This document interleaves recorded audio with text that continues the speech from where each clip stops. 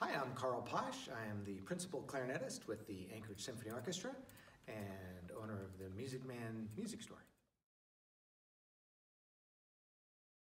Um, several years ago, I uh, went down to South America and uh, did a chamber music tour and uh, got inspired to um, uh, start and finish a clarinet concerto that I've been thinking about for a long time. And uh, when I got back, I applied for a Rasmuson grant, and uh, that helped me uh, over the last three years to um, compose the concerto and to fine tune it. And uh, it is um, loosely based on the avian adventures of a hummingbird in the rainforest.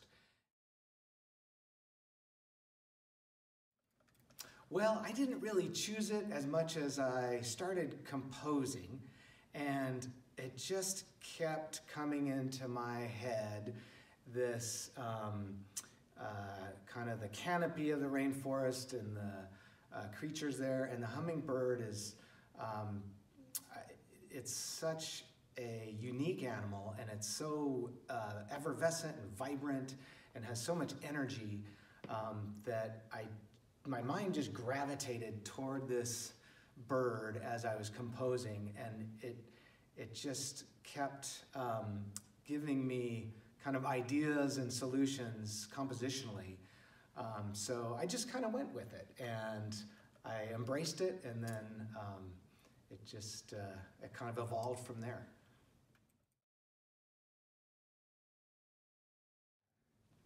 So uh, composing um, a, a, piece of music that's going to be played by my hometown Anchorage Symphony Orchestra um, is extra special. Um, I have um, my fifth grade beginning band teacher in the orchestra, as well as um, my uh, youth symphony uh, conductor, as well as many of the mentors that I grew up, you know, with.